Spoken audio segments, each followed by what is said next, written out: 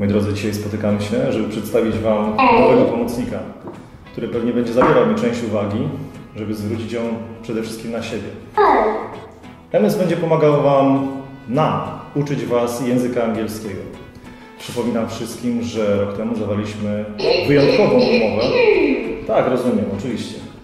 Zawarliśmy wyjątkową umowę z Leader School, na bazie której licencjonowaną metodą uczymy języka angielskiego w naszej szkole.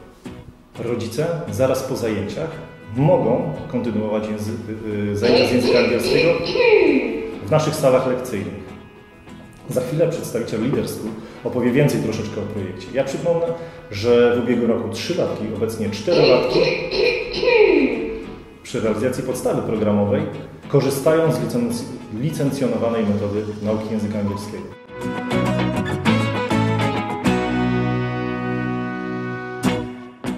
Chciałbym przedstawić Wam dzisiaj e, EMYSA jako uzupełnienie naszej metody e, nauki języka angielskiego dla dzieci Leo English. E, EMYS jest asystentem lektora. EMYS bierze udział w lekcji zgodnie z planem i z metodyką zajęć. Możemy powiedzieć, że EMYS jest native speakerem. EMYS potrafi mówić tylko po angielsku, po polsku nie potrafi niestety. Y, Dzieci przepadają za, za robotem, y, oczekują zajęć y, z EMYS-em.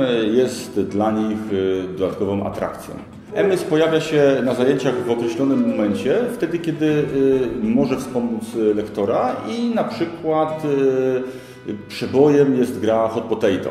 Dzieci siedzą sobie w kółeczku, śpiewają piosenkę Hot Potato, ten gorący ziemniak krąży i wtedy kiedy EMYS mówi stop, Ktoś zostaje z tym ziemniakiem w ręku i musi wykonać polecenie EMYS-a, oczywiście wydane w języku angielskim. Robot ten jest y, na pewno pierwszy w powiecie. Myślę, że w województwie jest ich teraz około sześciu chyba. Sześć albo siedem takich robotów. Generalnie w Polsce nasza sieć zakupiła 28 EMYS-ów. Jesteśmy pierwszą siecią, która użytkuje tego właśnie robota.